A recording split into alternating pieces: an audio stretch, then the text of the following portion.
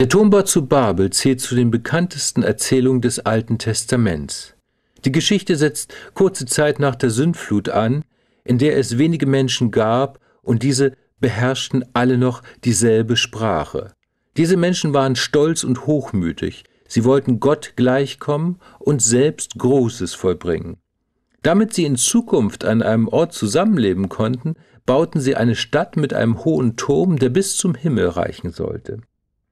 Der Kupferstich nach Angaben des Jesuiten Athanasius Kirche aus dem Jahr 1679 stellt den Turm mit Auffahrtrampen dar, die sich um das Bauwerk winden.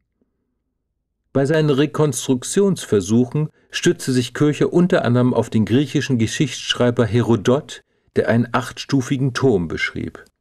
Diesem Kupferstich nach Kircher ist unser Holzmodell des babylonischen Turms nachempfunden.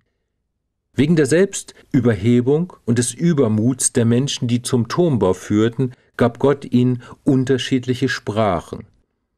Dadurch konnten die Menschen sich untereinander nicht mehr verstehen und den Turm nicht fertigstellen.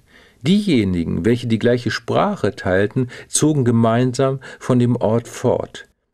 Die Menschheit verstreute sich über die ganze Erde. Kircher verstand die Erzählung vom Turmbau zu Babel nicht als rein symbolische Schilderung.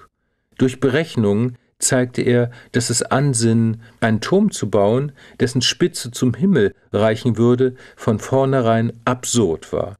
Viereinhalb Millionen Menschen müssten dafür 3400 Jahre ununterbrochen arbeiten. Das gesamte Holz der Welt würde für den Bau nicht ausreichen, und ein Pferd, das dieses Holz transportieren müsste, wäre längst verstorben, bis es den Gipfel erreichte.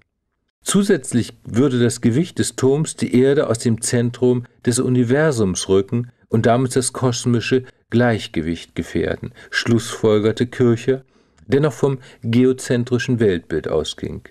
Gottes Motiv zur Stilllegung des Turmbaus entstammte damit nicht ausschließlich der göttlichen Eifersucht, sondern auch der Vernunft und Fürsorge für die Menschen.